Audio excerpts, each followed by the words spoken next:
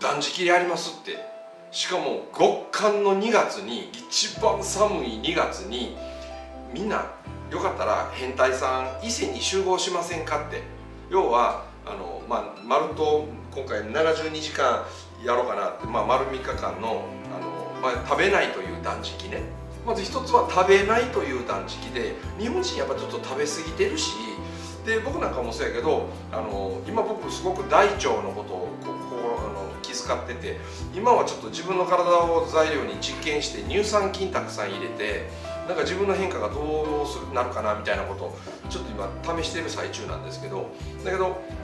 いっぺんねもっぺんリスタートを切るためにいっぺん自分の体の中を空っぽにしてねそれであの僕何何回か3日断食ってやってきてるんですけどやっぱりね2日目1日たち2日たち3日目に差し掛かりってしてくるともうおしっこもあんまり出なくなるしものすごいある瞬間から濃い色のおしっこ出る時あ毒素がどんどん出始めてるぞっていうともう変な快感を感じますよね。で丸3日終わって、まあ、僕たちはあの大根を長くグラグラと煮た煮汁に梅干しを溶いてでそれをあったかいままガブガブ飲んでで腸にへばりついてるような宿便とかあんなもんを丸3日が経った時にもう根こそぎ出すとなんか出し切るから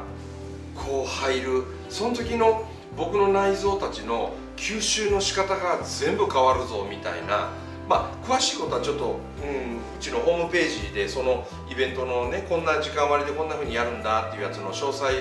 してる動画あるんでまた興味ある人見てほしいんですけど僕今回来月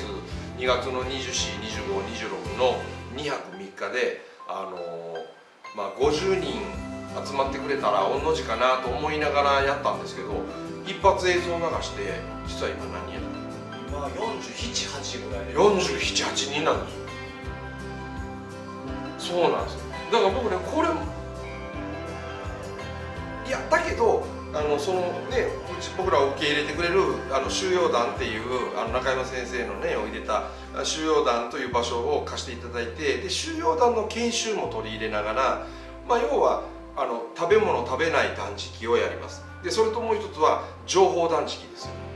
これはこの本の中の言葉もたくさん僕その中で引用しながらあの、まあ、収容団なんでテレビはありませんからテレビからの情報は丸3日間皆さん遮断。で同時に僕は携帯電話の電源もオフにしてもらいます。で1日数回だけ緊急の用が入ってないかどうかだけのチェックタイムは取りますけれどもうそれ以外は基本的に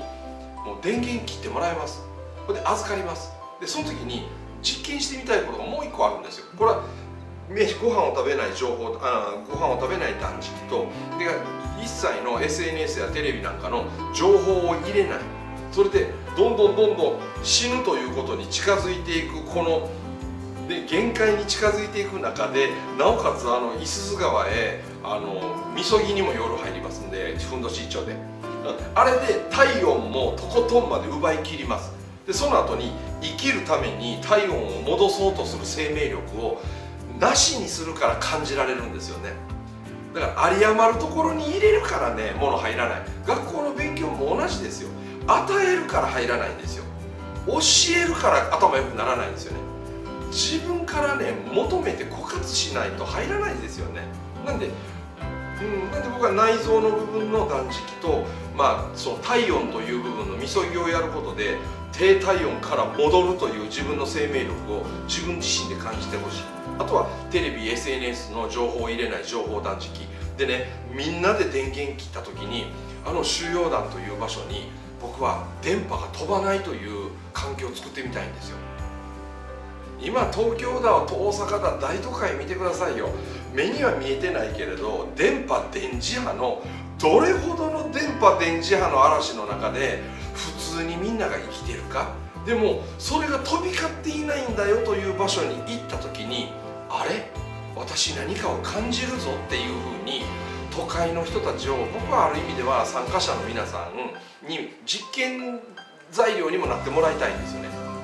なんか感じひんでこの電波が何も飛び交ってないよ。電磁波何も飛び交ってないよって。本当に自然体の空気の中でただ人がいるっていうだけでこんなにも何かが違うっていうことをみんなで感じ合ってみひんかな。でその時僕ねお水とお塩は体内に入れてもらわんとね一応健康上のことがあるんでちょいちょい塩は舐めてもらいます。でその塩ちょいちょい舐めてもらいながら水分は水を取るんですけど僕やりたいんですよ。これも皆さんに当日発表する予定でしたけどちょっと今日言いますわ。僕が組んできた何の煮沸もしてません、ね、沸騰もさせてません。で山の中のあの高い山の中の土の中をずーっと通ってきた自然のろ過器を通って出てきた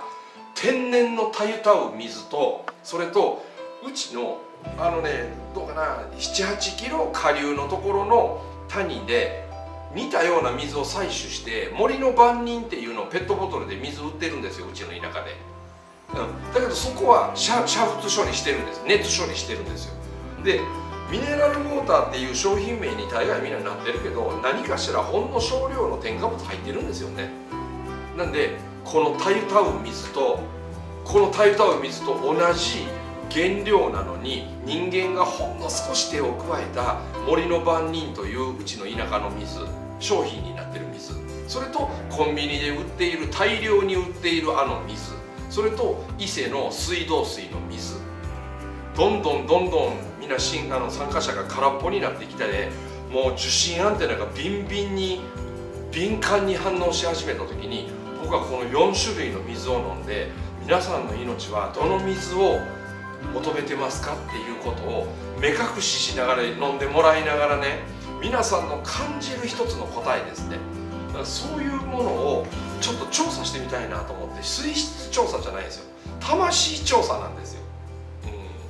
うん、命が何を調査したかっていうようなことをみんなで共有してみたいなとかね。そしてそのみそぎをしてから夜ねまた体ポカポカ温まってで夜お風呂入って寝た後に翌日はまあ伊勢神宮正式参拝に行ってでその命戻りに行くわけですよ。そこから戻ってきた後に僕修行団の中であの脳幹体験っていう要は棺桶の中へ死に装束で入ってでそれで蓋してでみんなで大合唱の般若心経を棺桶の真っ暗の中で聞かされた時にその中で僕は自分の人生を本当に自分らしく生きてるのかってみんなが本当に心の奥底から何が突き上げてくるかってもっと奥さんと一緒に旅行に行けばよかった。もっと優しい言葉で人と関わればよかった。嫌だ嫌だ言いながらやってることより本当に自分の求めてる人生観って何だったんだろうかっていうのが般若心経の声を聞きながら皆が何を感じるかって僕が教えることではないですよね。自分の命から出てくる自分の人生の答えみたいなものに触れてみたいと思うのならば僕はこの2泊3日で一応講師面してますけど僕は何も教えませんよ。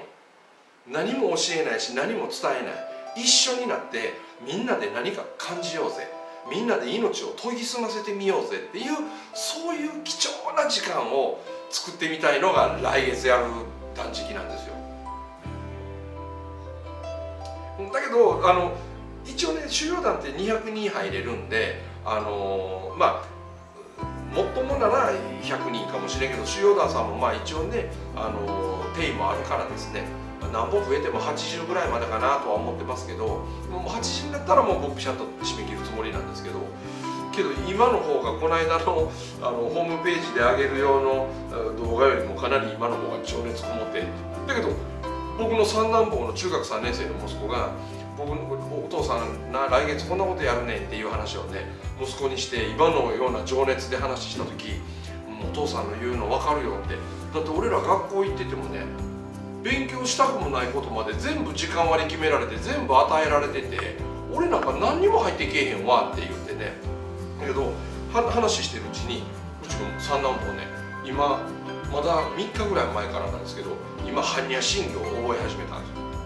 ほいでね「お前なんで般若心経を覚えようとしてんの?」って聞いたら「俺その2泊3日の断食俺も参加する」ってほいで一緒に、うん、みそぎもやるしその脳幹体験もやりたい。そして大人の人何に集まってくれるか分からんけど俺先頭で和尚さんの役してな木魚を叩いて鐘鳴らしながら俺の昭和に合わせて般若心経みんなの大合唱の中でその棺桶の中で皆さんが何を感じるかっていうお手伝いしてみたいっつってさ言うんですよ。よし！自分から言うたんなら最後までお父さんとやるよ。お父さんもとことやるからな言うて。でお互いに親子で俺は何を感じたかってなことをな3日が終わった後にゆっくりお前と話したいわっつってねしたら話そう話そうって。それってさやらな出てこない体験やもんなって。教科書には載ってない学習やろって。でもそれこそまさに我が魂の声なんちゃうかなっていう。それを自分の人生の一つの道しるべになるかもしれん。俺中学卒業のこれ記念になるっていうから。いいねいいねそれいいねっつってねうん。乗っかってるんで。乗っかってます。でもっと細かなねもっと細かなその収容団の方でやってくださるそのわらべの5歳の頃の感覚に戻ろうよっていう同心業とかね、うん。親に感謝しようよあのみそぎの前にろうそく一本で本当に